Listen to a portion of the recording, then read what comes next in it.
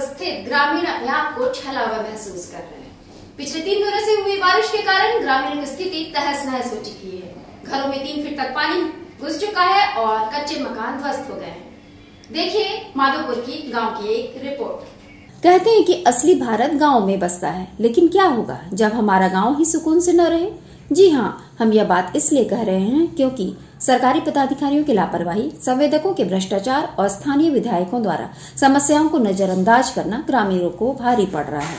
झारखंड और बंगाल राज्य की सीमा पर बसे पूर्वी सिंहभूम ज़िले के बोडाम प्रखंड स्थित माधवपुर गाँव के ग्रामीण तीन दिन से बारिश से अस्त व्यस्त हो चुके हैं। इस गाँव में तकरीबन तीन हज़ार की आबादी निवास करती है। तीन दिनों से बारिश से यहाँ दर्जनों घरों में तीन फीट तक पानी भर गया है। यह तमाम घर मिट्टी के हैं। कई घर टूट कर गिर चुके हैं और लोग खुले आसमान के नीचे हैं। यहाँ के लोग अपने अपने घरों में रखे अनाज और अन्य सामानों को लेकर दूसरे स्थानों पर जा रहे हैं। फ़िलहाल इनके पास भोजन भी नहीं है।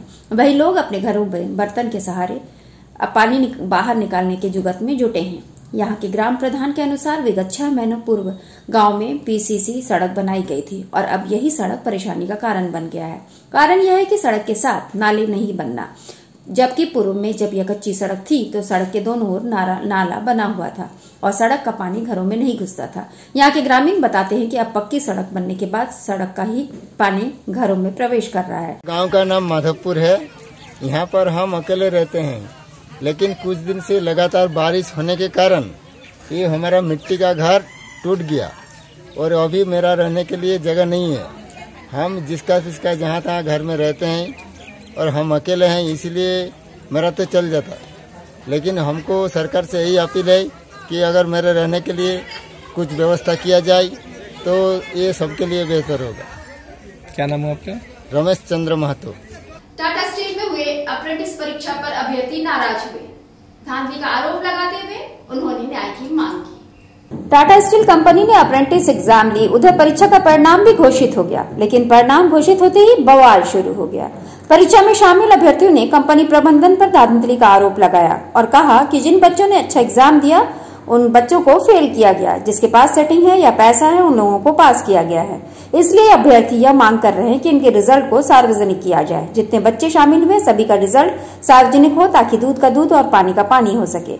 हालाँकि अब इस मुद्दे को लेकर राजनीतिक सरगर्मी तेज हो गई है। टाटा के इतिहास में पहली बार हुआ, जहाँ अप्रेंटिस एग्ज़ाम के बाद इतना बड़ा धब्बा लगा है। अब सवाल यह उठता है कि टाटा कंपनी क्या इस दाग को धो पाएगी या नहीं?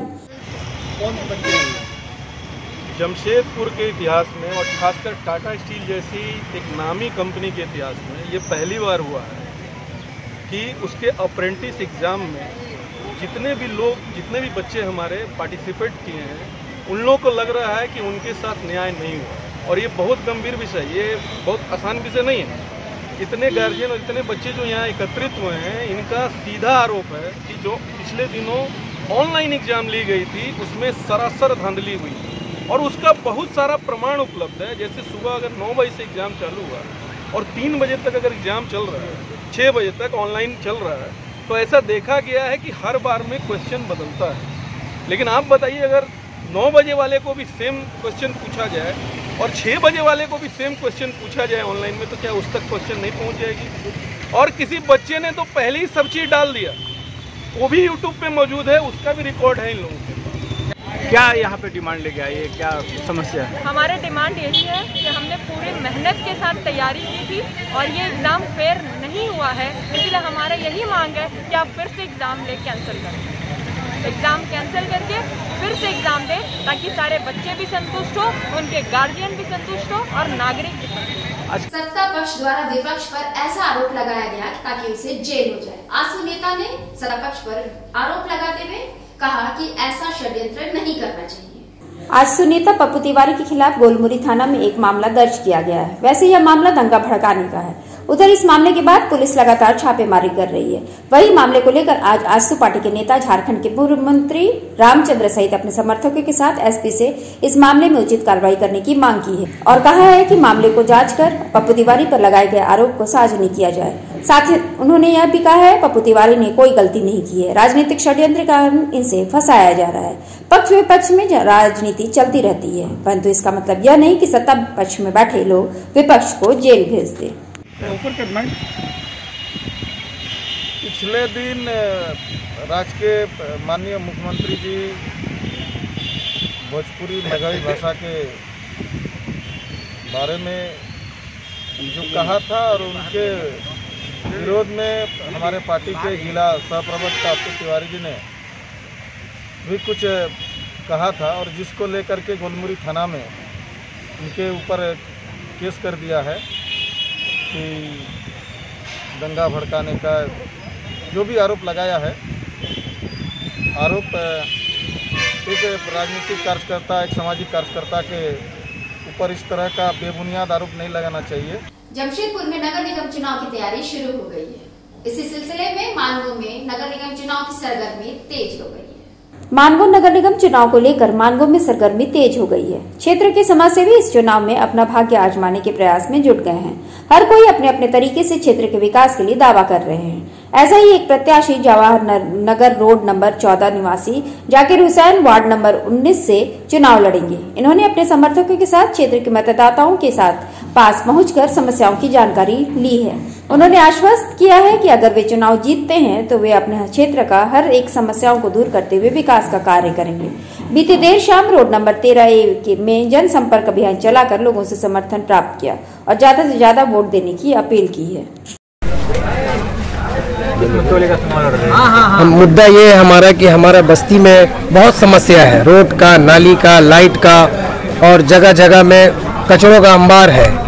ठीक है इसलिए जो हमारे बस्ती के लिए जो एक हम निर्णय लिए हैं कि हम वार्ड नंबर 19 से और वार्ड कमिश्नर का इलेक्शन लड़ेंगे और इंशाल्लाह काम तो हम अभी से चालू कर दिए हैं जहाँ पे डंपिंग का काम है हो रहा है। जहाँ पे और भी जो जो समस्या है आप बस्ती वासियों से मेरी गुजारिश है कि जो भी समस्या है यहाँ हमारा ऑफ़िस है जो भी हमारा फ़ोन नंबर है जो भी समस्या है हमको फ़ोन करें। इंशाल्लाह जल्द से जल्द हम नोटिफाइड के ज़रिए और नोटिफाइड के द्वारा और अगर हमारे अपने लायक होगा तो इंशाल्लाह हम खुद से करेंगे आदिवासी इंशाल्लाह। समाज एक तरफ़ चुनाव का विरोध कर रहा है और आप लोग चुनावी प्रचार कर रहे हैं। क्या लगता है चुनाव होगा? होगा इंशाल्लाह। एक तरफ़ तो आदिवासी समाज विरोध कर रहा है। आप चुनाव करवाने के लिए विरोध करेंगे? अगर चुनाव नहीं हुआ तो? जी हाँ उसके लिए विरोध करेंगे। और क्या क्या मुद्दे हैं जिनको लेकर आप चुनाव लड़ रहे हैं? जो लगता है कि जनता की वो ये समस्या है वो दूर करेंगे आप जी समस्या बहुत है सर। पूरा बस्ती घूमिए बहुत समस्या है समस्या है। रोड नंबर चौदह के नीचे क्रॉस चौदह के नीचे तेरह बी के नीचे और तेरह ए के नीचे पूरा समस्या है। झारखंड सरकार द्वारा सोना सोबरन धोती साड़ी योजना की शुरुआत राज्य स्तरीय रूप में की गई। हेमंत सोरेन ने इसका ऑनलाइन उद्घाटन किया। जमशेदपुर के रविंद्र भवन में भी इसको लेकर के जिला स्तरीय कार्यक्रम का आयोजन किया गया जहाँ ऑनलाइन माध्यम से कार्य मुख्यमंत्री जुड़े रहे। वहीं जमशेदपुर में आयोजित कार्यक्रम में विधायक रामदास सोरेन, मंगल कालिंदी और समीर मोहंती के साथ ज़िले के उपायुक्त समेत तमाम आला अधिकारी मौजूद रहे। इस दौरान तमाम अतिथियों ने संयुक्त रूप से प्रथम चरण के चयनित लाभुकों के बीच साड़ी और धोती का वितरण किया। वैसे इस योजना के तहत वर्ष में दो बार दस रूपए में धोती और साड़ी जन वितरण प्रणाली के दुकानों में बीपीएल कार्ड धारकों को उपलब्ध होगा। मौके पर मौजूद अतिथियों ने कहा, राज्य सरकार की इस योजना के माध्यम से अब गरीबों को राशन के साथ अब वस्त्र भी उपलब्ध होगा। जी के द्वारा राज्य की उपराजधानी दुमका ज़िले से धोती साड़ी वितरण योजना का शुभारंभ किया गया है। और इस योजना के तहत संपूर्ण राज्य के जितने भी राशन कार्डधारी परिवार हैं, उन परिवारों को एक धोती और एक साड़ी या लुंगी जो है, वो- हम लोगों को पी डी डीलर के माध्यम से वितरित करना है। इसी योजना का आज शुभारंभ माननीय मुख्यमंत्री के द्वारा किया गया है। इस योजना का मूल उद्देश्य है कि बिल्कुल जो असहाय और निशक्त परिवार हैं जो कि राशन पर डिपेंड करते हैं उनके तन पे कपड़ा भी उपलब्ध सरकार जो है बिल्कुल अ, अ, अ, करवा दे। और इसी क्रम में पूरे पूर्वी सिंहभूम जिला में चार लाख छत्तीस हज़ार परिवार हैं जो इसके लाभुक होने वाले हैं। आज सौ परिवारों को हम लोगों ने यहाँ पे टोकन स्वरूप आमंत्रित किया था जमशेदपुर में पिछले तीन दिनों से मूसलाधार बारिश हो रही है जिससे निचले इलाकों में बाढ़ की स्थिति उत्पन्न हो गई। जमशेदपुर और आसपास के इलाकों में लगातार मूसलाधार बारिश हो रही है, जिसके कारण जनजीवन अस्त व्यस्त हो गया है। वहीं चार साल बाद डिमना डैम के तीन फाटक खोले गए हैं। उधर फाटक खोलते ही निचले इलाकों में बाढ़ की स्थिति उत्पन्न हो गई है। हालाँकि जिला प्रशासन ने डैम के आसपास के लोगों को उच्च स्थान पर जाने का आदेश दे दिया है। वैसे मूसलाधार बारिश होती रही तो वह दिन दूर नहीं, जमशेदपुर के नीचे का इलाका जलमग्न हो जाएगा। वहीं शहर की लाइफलाइन माने जाने वाली स्वर्णरेखा और खरकई नदी दोनों फान पर है। उधर जिला प्रशासन ने डैम के आसपास के लोगों को सतर्क रहने को भी कहा है। अगर बारिश लगातार हुई तो डैम ओवरफ्लो कर सकता है। आ, अपना नाम बताइए ना। रिचू सिंह। आप आराम से बोलिए। रिचू सिंह। मैडम यहाँ कैसा लग रहा है ये नज़ारा देख के? बहुत अच्छा लग रहा है। मैं फ़र्स्ट टाइम यहाँ देख रही हूँ ये। पहले मैं पटना में रहती थी। अभी जमशेदपुर आई हूँ तो फ़र्स्ट टाइम ये फाटक तीन खुला हुआ देख रही हूँ मैं। बहुत अच्छा लग रहा है।